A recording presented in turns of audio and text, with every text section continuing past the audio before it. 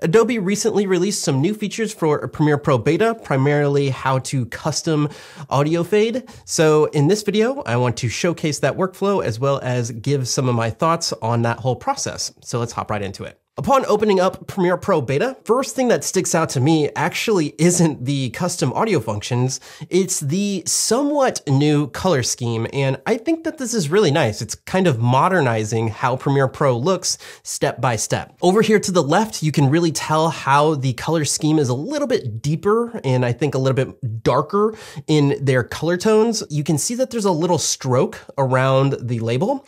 For reference, let's go over here to the current version of Premiere Pro. Everything's a little bit brighter in tone. How that translates down to the timeline though, is let me just make this uh, full screen.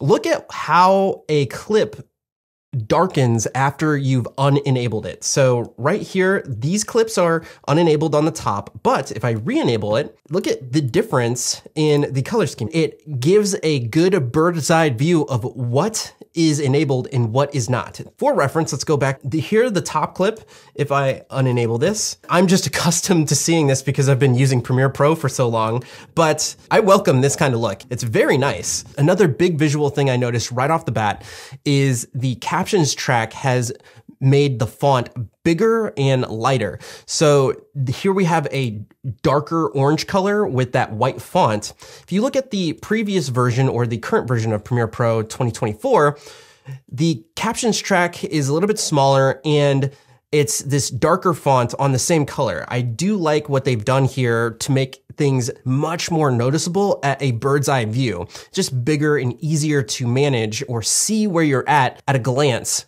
with this version of it. Kudos for that. Now let's get into the main update of how you create custom audio fades. Before in Premiere Pro, you're probably used to audio fades that look like this. If I wanted to create an audio fade right here, I could go between my two clips, right click, and apply default transition.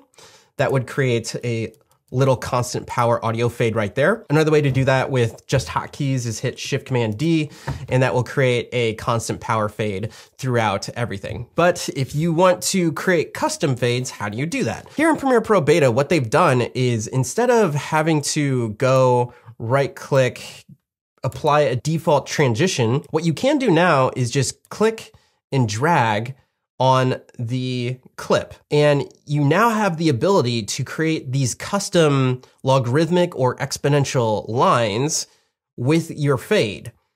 If I wanted to create a custom fade between both of these, I'm just gonna hit that same Shift Command D, and now I've created a fade between both. It's very intuitive how it works though. So all I need to do is click right here, and the moment I click and drag, it just automatically adjusts it.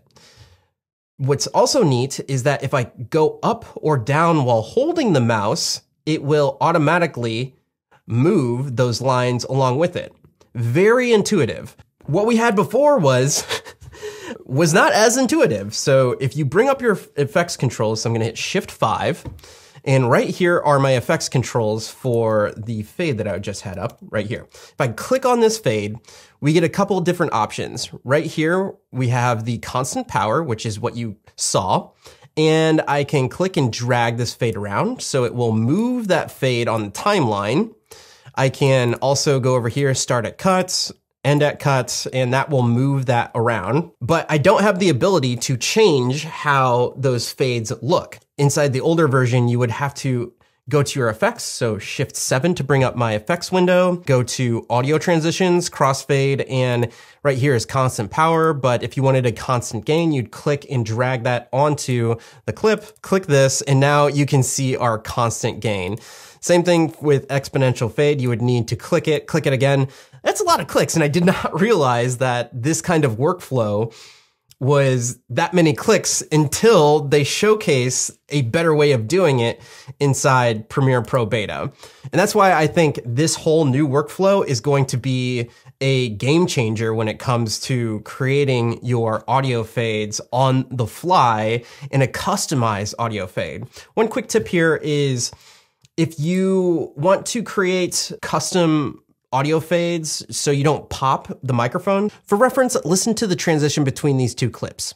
filler words like um and ah by clicking here to highlight. So there's a little blip right there that can easily be alleviated by a crossfade between the two clips. With all of your track targeting toggled on for the tracks that you want to apply crossfades to, you can hit Shift Command D. By default, my crossfade is two frames long. What this normally would be for you, if you haven't changed it, would be one second long. So let me show you where you can change that. Up in here in Mac, it's Premiere Pro settings. On Windows, I forget where your settings are, but if you just go up to help and look for settings, it'll pop up. And more so, if you were to just look up timeline and help, it'll pop up. So we wanna go down to timeline and right here, audio transition default duration. I have switched this to frames. This by default is seconds. I've switched it to frames and I have done two frames. You could actually go shorter than that by doing something like 0.1 seconds. That's not what I want to do. I think two frames is the perfect amount of duration for an effect like this. I'll hit OK um, and ah by clicking.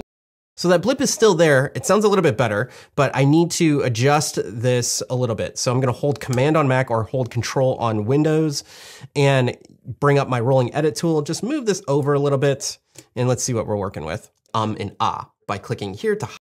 Now I want to apply a crossfade like that to every single one of my jump cuts. And I don't want to do that every single time. So all I need to do is highlight all of these clips. And because I've set that default duration to two frames, I can just hit Shift Command D. At least now I have every single one of those crossfades here on the timeline, and all I need to do is adjust them if I hear something. But for the most part, they probably sound good. Now, on the flip side of that, let's say you created all of these transitions and you wanted to get rid of them.